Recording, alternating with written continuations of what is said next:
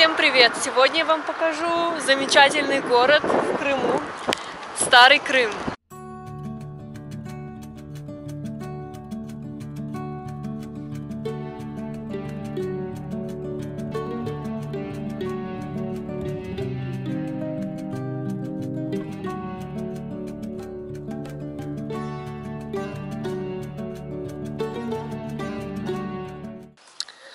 Общем, добрались мы до первых все-таки развалин, и на территорию проход закрыт. И я смотрю сверху, вернее, со стороны на все это. Сейчас поедем, посмотрим на другие достопримечательности. По первым впечатлениям, это не город, а поселок. Ну, я того и ожидала, что будет как бы основная масса зданий частного сектора. Вот.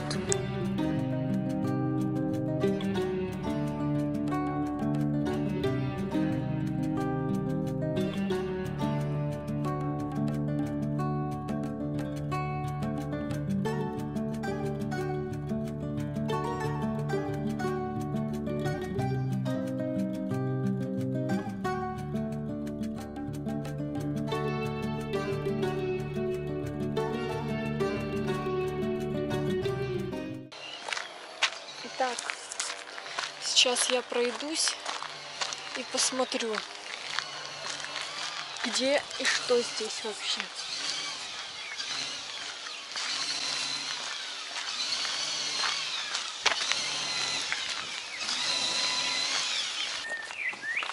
А какая мечеть?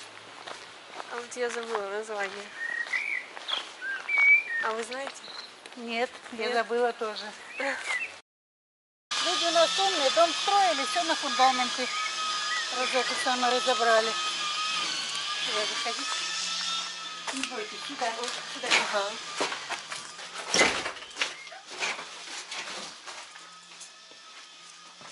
Налево. Ого, где прячется прям.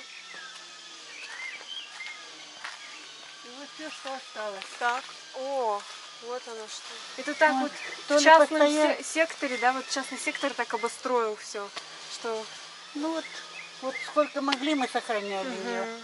Еще мои родители, дед с бабой латали. А вот тут дом строили, здесь дом строили. Всю ее разобрали. понятно.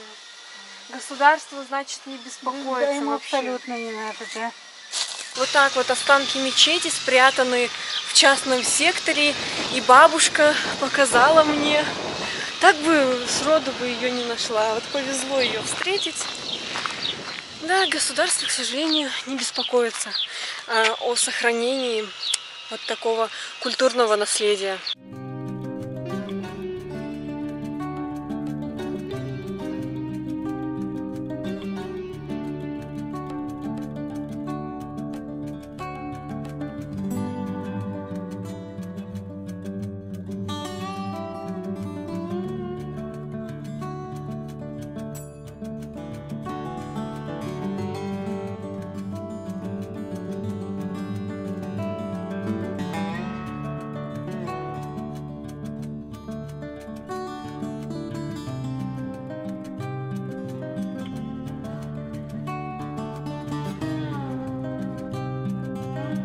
Так, в общем, доехали мы еще до одного места, я уже увидела, что оно опять находится на чьей-то территории, и никак туда не попасть. Итак, в общем, женщина объяснила, как нужно пройти к этому караван-сараю.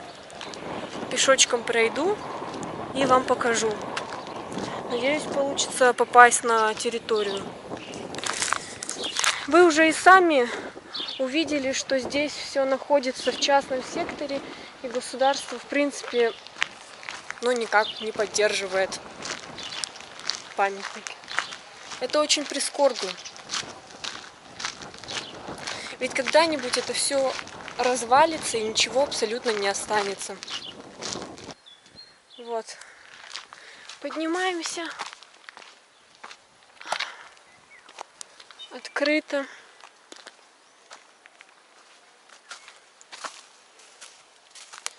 И проходим.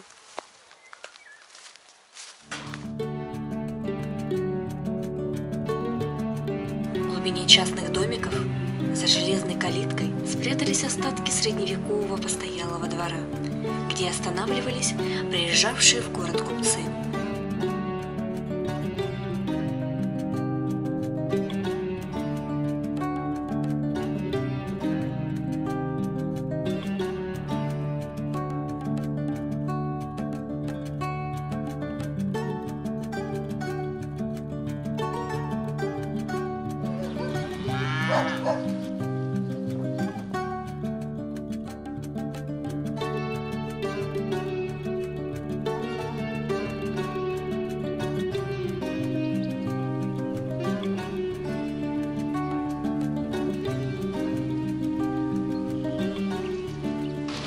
Это окраина поселка. Здесь берет свое начало дорога Грина. По ней некогда гулял писатель. Здесь мы решили устроить себе небольшой пикничок, перекусим и дальше пойдем смотреть достопримечательности этого небольшого городка.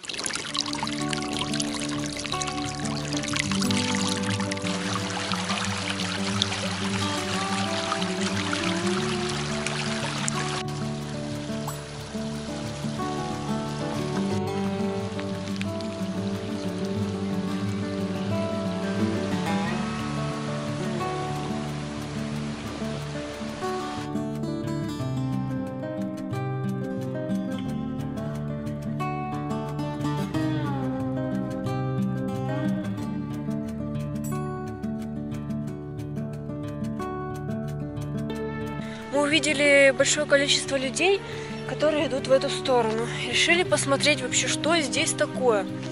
Может быть, родник, родник какой-то, потому что мы видели мужчину, который шел с набранной водой.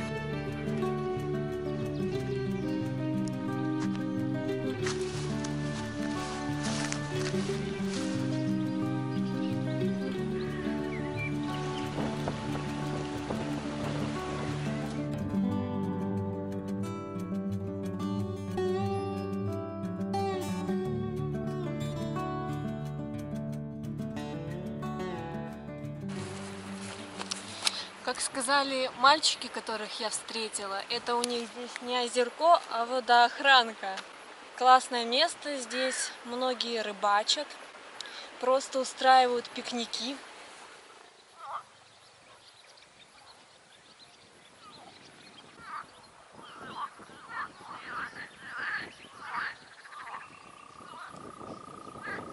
В общем, родника я таки не нашла. Значит, тот мужчина, которого я видела с бутылкой, набирал просто из-за этой речушки. Возможно, даже эта речушка и есть как бы источник. Просто начало его я не нашла.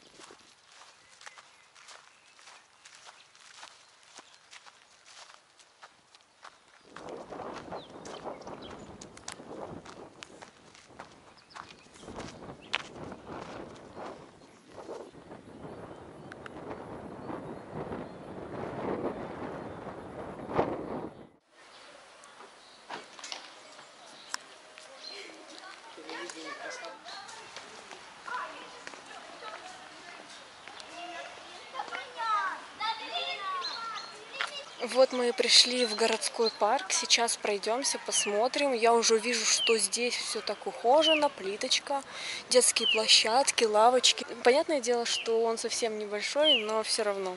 Я думаю, это хорошо. В каждом городе должно быть такое место.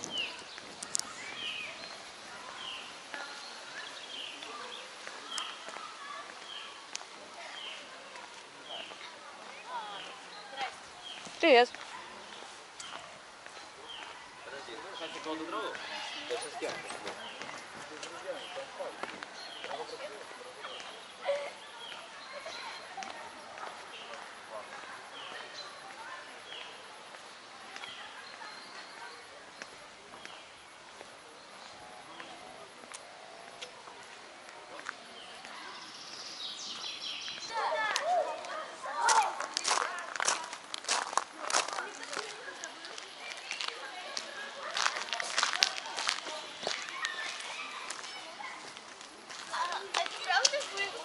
Смысле? А вы же видеоблогер, нет? Ну, снимаю видео, да. Прикольно. А как, как вы Ну, у меня не популярный канал, я только начинаю. Ну, вы, наверное, даже не найдете его. А как называется? Сения. Синяя? Ну, или другой канал э, Урбан Кубан, городская Кубань. Спасибо. Ладно. Здрасте. Привет.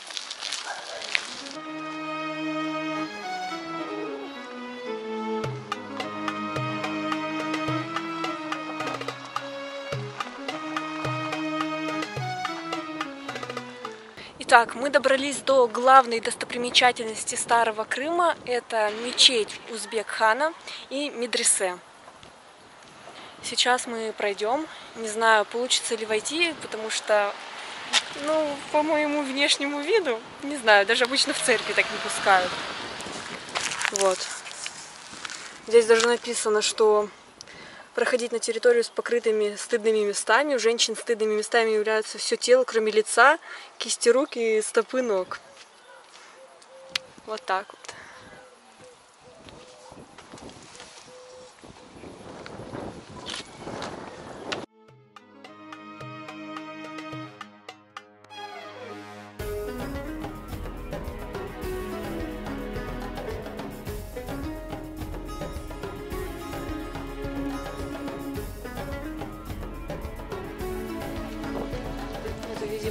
Видимо,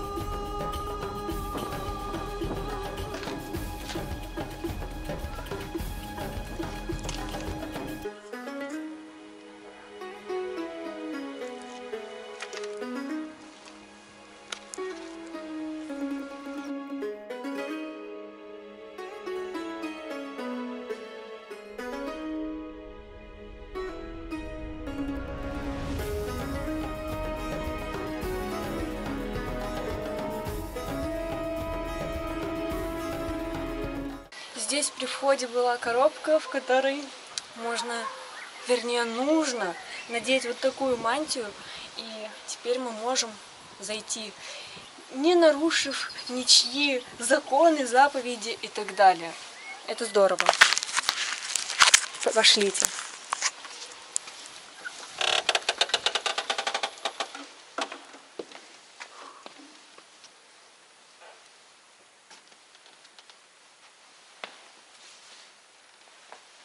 Мечеть XIV века, 1314 года постройки. Вот так должны сохранять памятники. Здорово. Я никогда не была в мечетях. Но ты, наверное, тоже.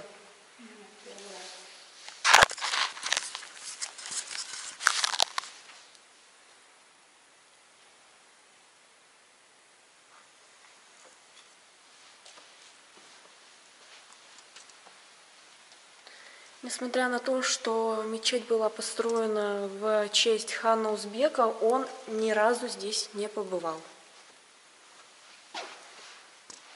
Подушечки, чтобы было удобно, смотри, сидеть. Ты же знаешь, что они вот сгибаются, вот. Ну, ты, наверное, видела, да, как проходят мусульманские молитвы.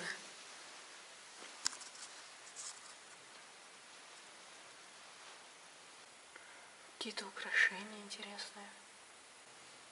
Несмотря на то, что здесь, в принципе, не так уж и много окон, тут э, не темно. Да? Свет так уместно попадает.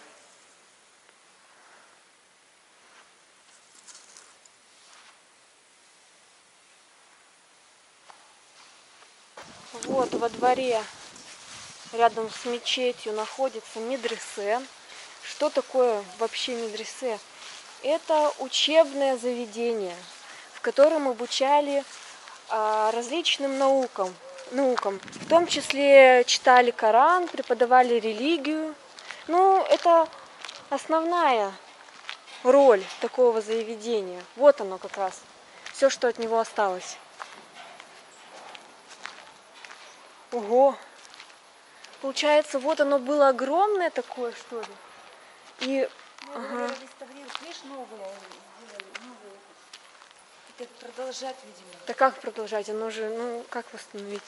Восстанавливают, видишь, крышу сделали. Какую крышу? Вот, крышу. Ага. Так это, наверное, чтобы не разрушалось оно больше. Смотри, какие-то эти рядом. Ну, как жилище, что ли. И люди, которые обучались в этих заведениях, потом могли также преподавать. Вообще Старый Крым в XIV веке был одним из самых развитых городов Крымского улуса. Здесь активно велась торговля, обучались люди в медресе, собственно, проводились бого- богослужения, читался Коран. Сожалению, не раз город разрушался и с течением времени превратился в маленький захудалый городок.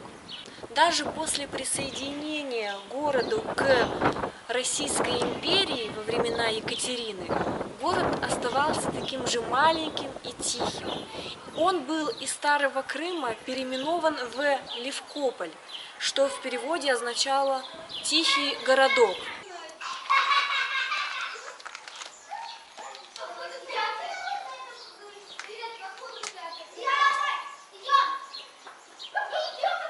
Мы тут с подружкой Сокой гуляли. Какой Сокой? А можно... Давайте в комнатке посмотрим на эти Сокой, ага? Надеюсь, мы тут не заблудимся? Нет, не заблудимся. Блин, интересно, что это за кабинет был? Я тоже так хочу подняться. Я тут в школе когда-то была. Я думала, это было Девочки, И, кстати, да, все-таки не зря сделали вот эту крышу, потому что вода льется, и она может еще больше разрушить, размыть все вот, вот это вот. Интересно, в течение какого вообще времени здесь все будет восстановлено?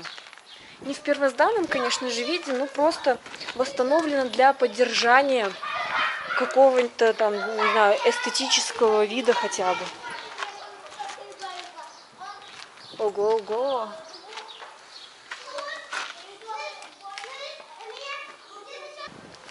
Восточная лавка.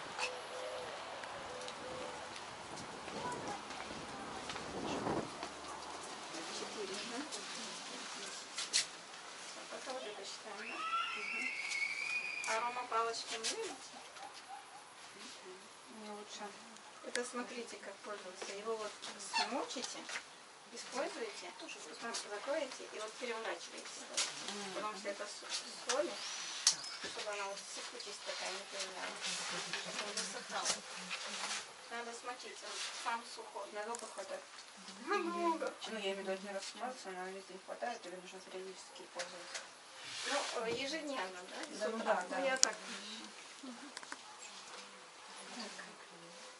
Это у нас 300, 600, 500, 1000. Травы, травы, скорее всего. видишь, Ну, для чего? Для чая? Показания какие-то, заболевания. А, так вот. Развести стакан теплый пить. Это как и для чая. Нет, это для применения каких-то, видишь, при заболеваниях там. Ну, так ты же Гипертония. внутрь принимаешь. Ну да. Ну.